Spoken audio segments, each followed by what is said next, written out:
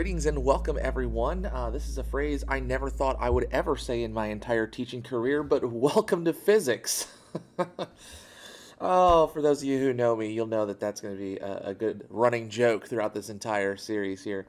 Uh, my name is Joe Lamb, J Lamb Bio. Make sure you like, subscribe, leave a comment down below. Just kidding, you can't, because I turned the comments off, I think.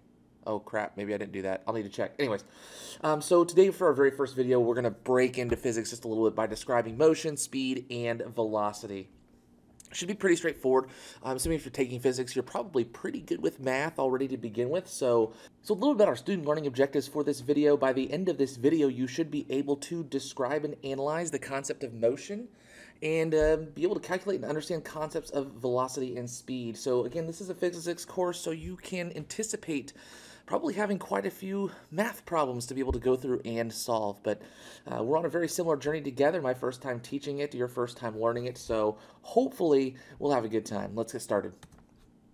So when we describe motion, you know, an object that's moving, uh, typically we need a frame of reference, and typically we use uh, a frame of reference that's known as a coordinate system. You can think of this like the Cartesian planes that you use when you're graphing things in math class, calculating slope and whatnot. And we'll be doing a heck of a lot of that in here.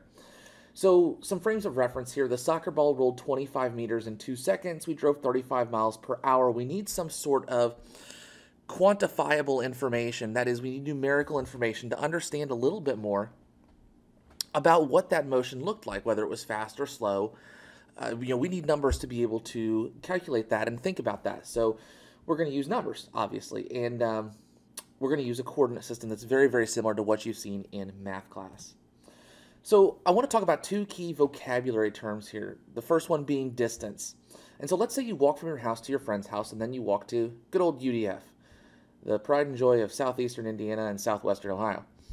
If it's 2.1 kilometers to your friend's house and 4.3 kilometers to UDF, what's the total distance traveled? Well, you went from your house to your friend's house, and that's 2.1 kilometers. And then you went another 4.3 kilometers to UDF. So the distance, being the total length that is traveled, would be 2.1 kilometers plus 4.3 kilometers, which yields a total of 6.4 kilometers. Please make sure you include your units. So distance is the total length traveled. Now that would include, uh, let's say you're making a round trip to the grocery store, and let's say that it's 10 kilometers to the grocery store. Well, if you make a round trip, you traveled a total of 20 kilometers. 10 kilometers to get to the grocery store, and 10 kilometers to get back from the grocery store to your house. Displacement, however, is a little bit different. Displacement is the net change in position. Um, this can be the same as distance if the movement is in the same direction. So, for example, in the previous problem, the distance and the displacement are the same. It's going to be 6.4 kilometers because distance would be how far you traveled, and then the displacement is how far you are from where you started. So those would be the same values. But let's take a look at the example here. Let's say we're going from the dorm and we go to our physics class, and then we are hungry after physics, of course, because we used our brains so much, it just made us absolutely starving, and we decided to go to the cafeteria. Well, if I take a look, going from the dorm to physics class is five blocks. And then going from physics to the cafeteria is six blocks.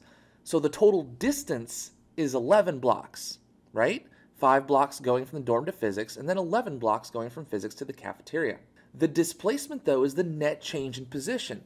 So even though I went five blocks to physics and then six blocks to the cafeteria, my total displacement is negative one block because my final position is one block behind my initial position.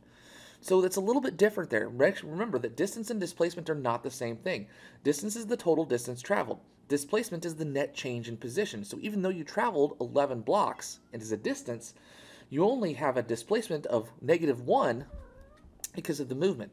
Distance is always a positive value. Displacement can be positive or negative based on where you are located based on your original position. So let's take a look at the sample problem. What is the distance traveled and the displacement if you travel from house B to UDF and then back to house A? Well, let's stick house B, our starting point, and we'll say that that is 0. It's 4.3 kilometers to UDF and 2.1 back to house A. So the distance, remember, is always a positive value. So with terms of distance, we're going to go, I'm going to change my color here for distance, so we'll use red for distance. We go from house B to UDF, and then all the way back to house A. So in this instance, we walked 4.3 miles, or sorry, 4.3 kilometers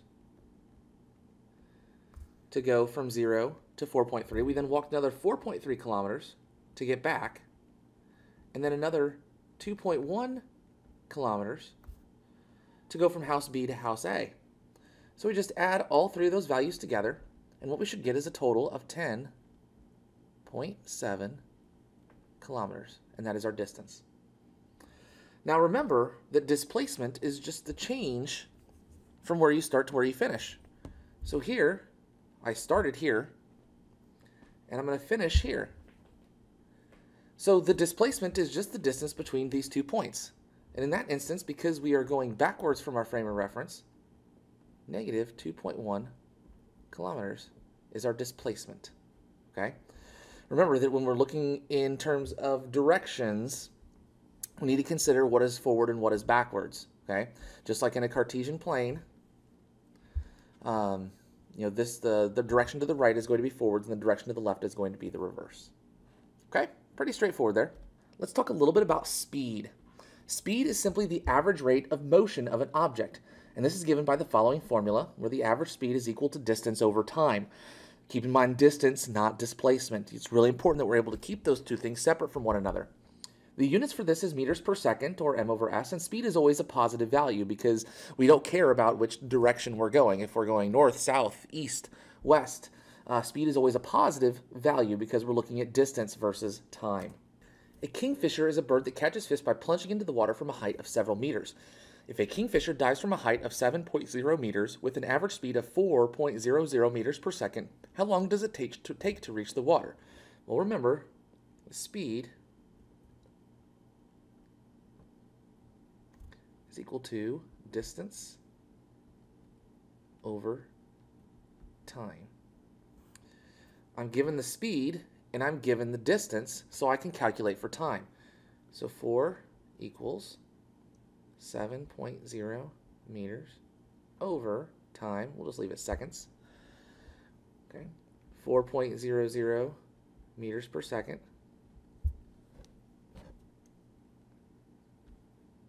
We're going to rearrange this equation. So we're going to multiply by s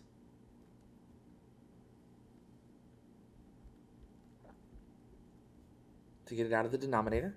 We're then going to divide both sides by 4. We're going to divide those two values to get 1.75 seconds. Okay.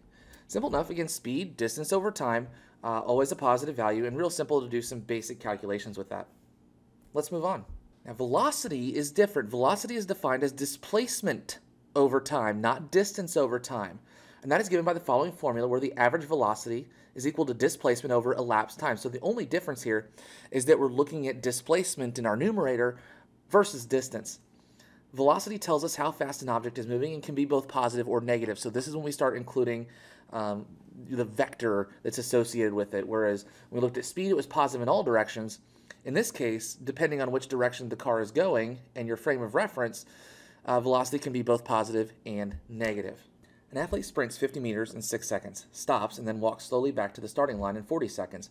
If the direction of the sprint is taken to be positive, what are A, the average sprint velocity, B, the average walking velocity, and C, the average velocity of the complete round trip? Okay, so we have three different problems we're going to calculate velocity for. But we can kind of imagine this, and I always find it helpful to draw a picture. Got a little guy here. Okay, and he sprints 50 meters, stops, this takes six seconds. We go this way, stops. This takes 40 seconds. So we want to know the average sprint velocity. And keep in mind that this is 50 meters away. Okay. So remember that we're looking for velocity, and that is displacement over time. So for the sprint velocity, all we're going to look for the difference between this distance here and this here. So that is where our starting and ending point is. So our displacement for part A is 50 meters, and it took 6 seconds. So we just simply plug those numbers in and solve. 50 divided by 6 is equal to 8.33 meters per second. Let's look at the next part of the problem. The next instance, I want to know the average walking velocity. Well, he walked back, yes? So walking backwards, the displacement, because we're going backwards, is negative 50 meters because he's going from here to here. That took a total of 40 seconds. So we're going to divide 50 by 40 seconds to get an average velocity of negative 1.25 meters per second. The very last bit is asking for the average velocity of the complete round trip. Well, we started at this point and we ended at the exact same point. So the total displacement for part C is zero.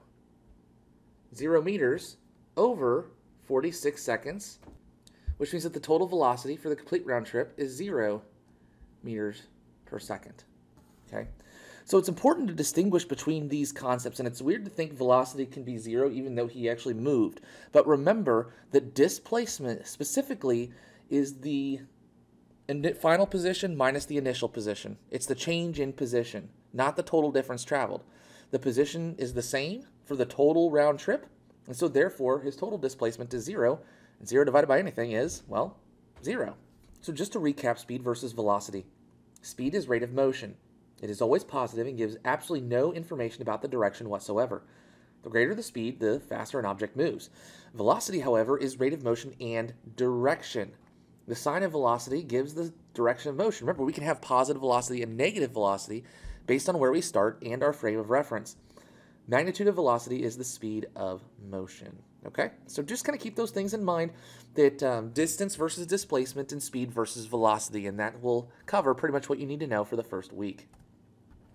So hopefully by the end of this video, you can describe and analyze the concept of motion by thinking of displacement versus distance, and also calculate and understand the concepts of velocity and speed. Hey, hope you guys have a great day. Thanks again for watching. Make sure you like, comment, and subscribe, and we will talk to you guys later. Have a great day, everyone. Bye-bye.